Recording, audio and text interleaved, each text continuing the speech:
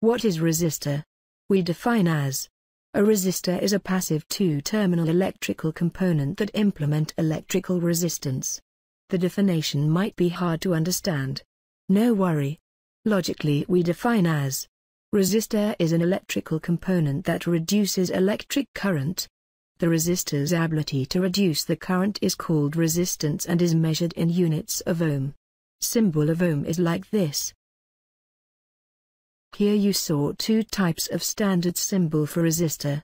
On the left side zigzag type of symbol is permitted from American Standard, and on the left side is International Standard by IEC.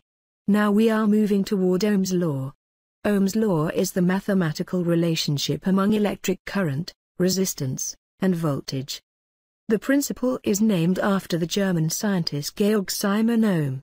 Mr. Ohm discovered in 1827 that electrical resistance is equal to voltage divided over current, in which I is for current, V stands for voltage, and R is for resistance. Now we are going to study about types of resistor.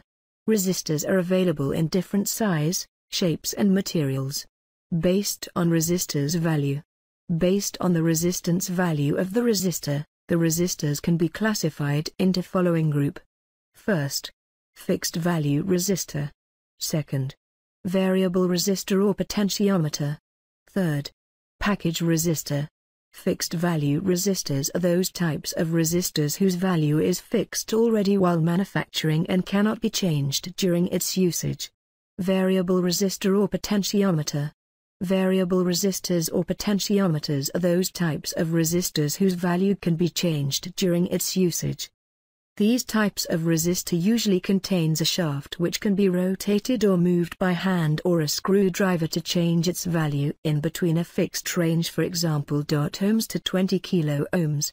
Package resistor these types of resistor is a resistor which contains a package which contains two or more resistors inside it. It have many terminals and the resistor's resistance can be chosen by using any two terminals among the available terminals or can also be used as an resistor array for various purposes. Like and share this video. Please comment if you like or not. For more video like this please subscribe to our channel.